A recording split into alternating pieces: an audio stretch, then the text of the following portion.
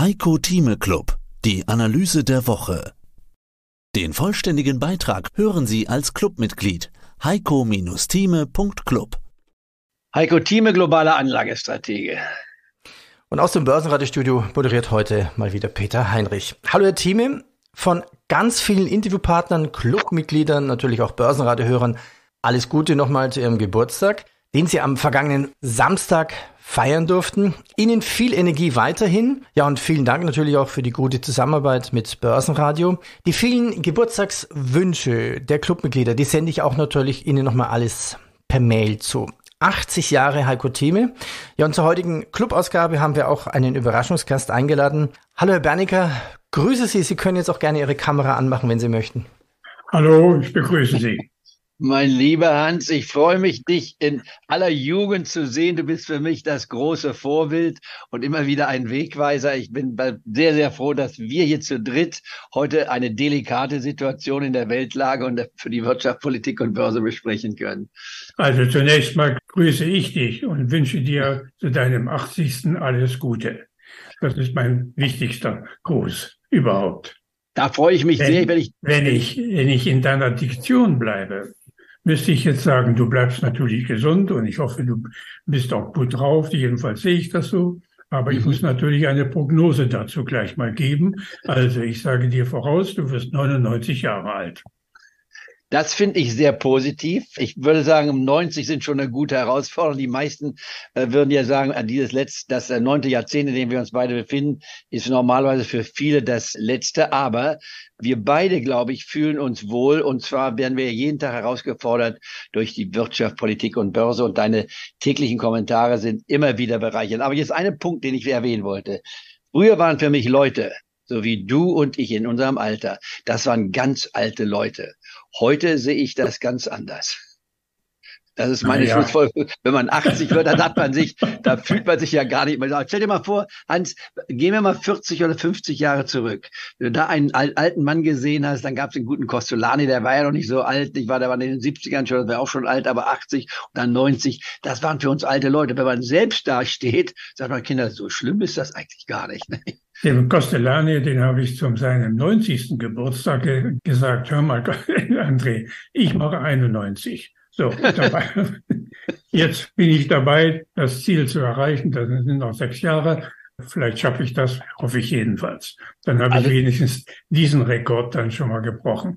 Aber wir sind die beiden einzigen regelmäßig auftretenden Börsenkommentatoren in Deutschland, die den Mut haben, eine Prognose zu stellen. Da sind wir wirklich die Einzigen und die Dienstältesten. Und das verdient natürlich schon einen besonderen, einen besonderen Stellenwert. Denk mal daran, denk mal, wie wir uns kennengelernt haben. Oh, natürlich. Haben 1982 lernten wir uns kennen, just in einem Moment, als äh, Ronald Reagan im August 82 seine Steuerreform durchbekam. Das hatte ja länger gedauert. Und damit begann ab August 82 bei einem Stand des Dow von damals 775 die längste Horse über 18 Jahre bis 2000, die es überhaupt gegeben hat. Vollkommen richtig. Und damals war es war 12. August, war das äh, Kickoff-Point. Und ein Bekannter von mir oder Freund war es, Knut Jürgensen, ein Norweger, der also technische Analyse betrieb und gesagt hat, das ist die beste Short-Position, die man machen kann. Und der arme Kerl Heiko, hier ist Robert Halber. Wir haben es oft genug gefetzt, ja, definitiv, weil du immer eine sehr starke Meinung hast, die ich auch habe. Und man musste immer tief Luft holen, mal hier überhaupt zu Wort kommen zu können. Aber was ganz wichtig war, du hast immer die Fahne der Aktien hochgehalten. Das hat mir immer sehr gut getan. Aus dem Grund bist du ein Held meiner Studienzeit und du wirst immer mein Held bleiben. Alles Gute und herzlichen Glückwunsch zu deinem 80. Geburtstag. Ich wünsche dir alles Gute und vor allen Dingen viel Gesundheit. Wie siehst du VW? Katastrophe ohne Ende oder eine Chance jetzt bei 105? Sage ich kein Wort dazu. Ich, ich habe mich aus dieser Konstellation Porsche, VW völlig zurückgezogen, weil ich die Beurteilung der Querverbindung politischer Art innerhalb der, dieses Clans, wenn ich mich so ausdrücken darf, sehr misstrauisch ansehe.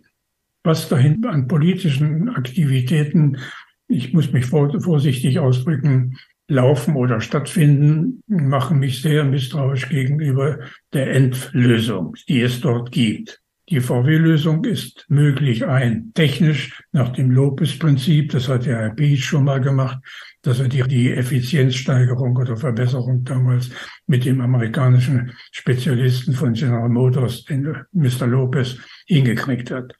Jetzt versucht der Herr Blume mit einer anderen Konstellation, aber das ist das eine. Mir, ich misstraue diesen Clan-Gedanken und den Manipulationen, die von der Seite, von dem Porsche-Clan, darf ich es mal so sagen, oder Porsche-BH-Clan ausgehend.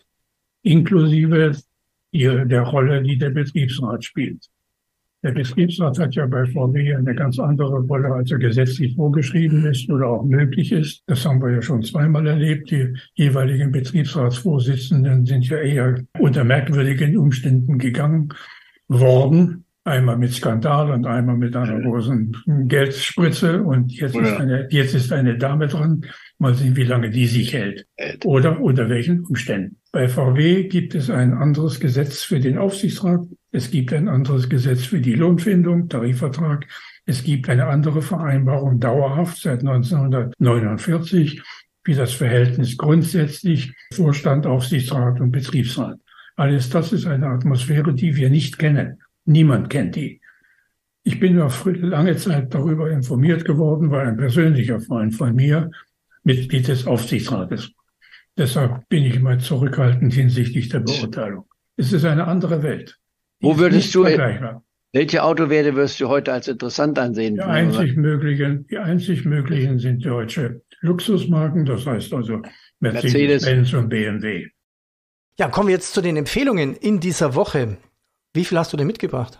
Also ich könnte mehr als ein Dutzend erwähnen, aber das würde sich dann auch nicht lohnen, wie wir schon besprochen hatten mit Hans Bernecker. Man soll ja eine gewisse Liquidität haben und ohne Liquidität geht's nicht und ich empfehle ja eine Liquidität von 20 Prozent. Insofern ist es schon ein Widerspruch, wenn ich in einer meiner täglichen Marktprognose Empfehlungen ausdrücke und sage, bitte denkt aber dran, 20 Prozent Liquidität zu halten, denn ich kann ja nur dann kaufen, wenn ich Geld habe. Das ist immer ganz wichtig.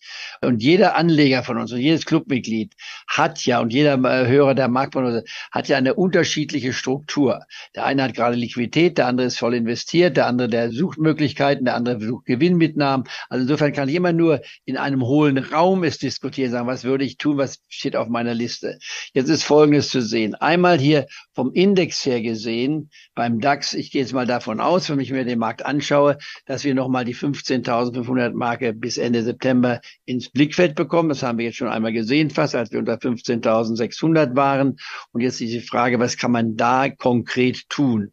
Da ist es einfach für mich dann auf der Long-Seite zu sein. Wir sind heute bei 15.718, während wir jetzt miteinander sprechen. Wenn man sich anguckt, wo wir heute waren, das muss man auch wiederum sehen, welche Schwankungen hat der Markt heute gesehen. Wir waren jetzt hier schon gewesen heute Morgen. Ich war bei 15.661. Wenn wir auf die 15.600 Marke kommen oder darunter fallen, dann gibt es eine Empfehlung, die ich auf jeden Fall jedem empfehlen würde. Und das ist im DAX-Index eine geleveragte, ein relativ scharfer Hebel, wenn man so will, der wertlos werden würde, wenn wir knapp über der 15.000 Marke sein würden. Das wäre also ein äh, Hebel, wo man sagen kann, ich kriege das, ein, das fast 25-fache bezahlt, wenn ich mich in diesen Hebel einkaufe. Und das ist der DAX-Hebel HFC 5. Ich genieße jeden Tag nach dem Motto der Römer Carpe Diem. Ich äh, möchte gerne auch für meine Enkel und meine Familie natürlich noch lange dabei sein. Aber wenn es immer der Fall ist, dass man abtritt, auch das muss man mal sehen. Nun mit dem neunten Jahrzehnt wird man philosophisch, aber wie ich schon sagte, früher waren das alte Leute für mich. Heute sehe ich das etwas anders. Mehr dazu gibt's im Heiko Thieme Club. Heiko-Thieme.club. Heiko Thieme spricht Klartext. Der Heiko Thieme Club.